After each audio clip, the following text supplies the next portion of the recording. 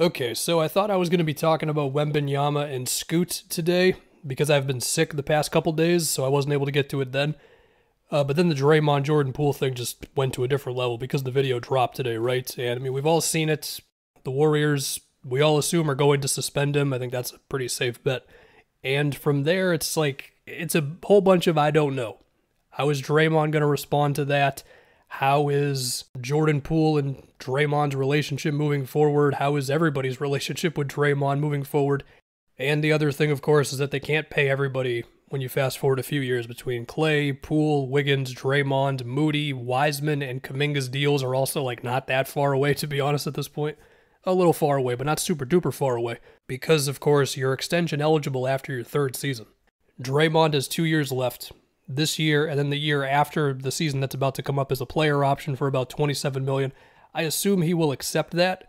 Although it is kind of a fascinating thing, at least for me to think about, of like if Draymond was on the open market, what would his worth be to other teams? Because I think it's fair to say he means more to the Warriors than he would pretty much anybody else, given his chemistry with Steph, right? And then defensively, of course, he's great. Like, he would still get a contract, no doubt about it. But the fact that it is so ingrained in the Warriors' system of, oh, they're sagging off of Draymond. All right, get the ball to Draymond. Someone's going to run a handoff, most likely Steph, Claire, Poole. They're going to come around it, and now you got to step up, and now you're just kind of screwed, right? It's tougher to get to that point. It sounds very simple, but it's tougher to get there if you're suddenly on a new team that already has an established offensive system, and of course, there's only one Steph Curry.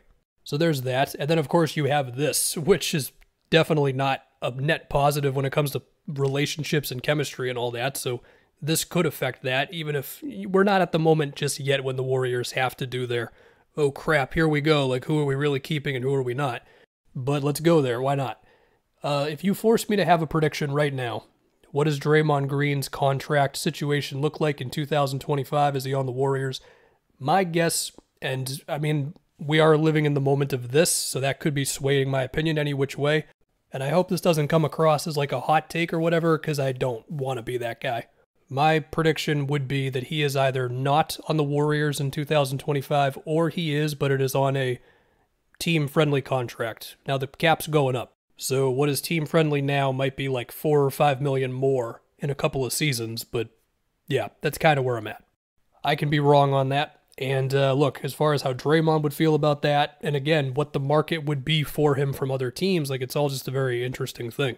And I think part of that as well is the idea of okay, let's say Draymond's days on the Warriors are potentially numbered with this being the beginning of the end if you want to get super dramatic. Again, I think there's a very decent chance he's still on the team for the entirety of his career, but for less money, that sort of thing. But if you want to go down that route, well, then you got to have the conversation of who's your starting power forward in 2025 when Steph Curry is like 36 years old or whatever. Well, Jonathan Kuminga is a very interesting player.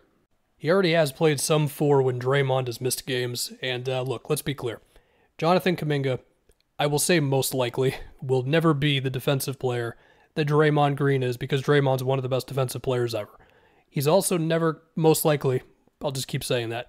Never going to be the passer that Draymond is, and he most likely will never have the sixth sense with Steph that Draymond has. What Kuminga does have is way more verticality than Draymond could ever dream of having. And if he could just get to a point where the defensive IQ matches up with his physical profile, I mean, look, he's 6'8, he can jump out of the gym, he's got a 6'11 wingspan, then I think you could manage that defensively if you're the Warriors. Some of this also depends on where Wiseman ends up defensively as well. As for the offense, I mean, if Kuminga can be just a super effective screen setter for Steph and just constantly get downhill, then I think that can still be effective enough.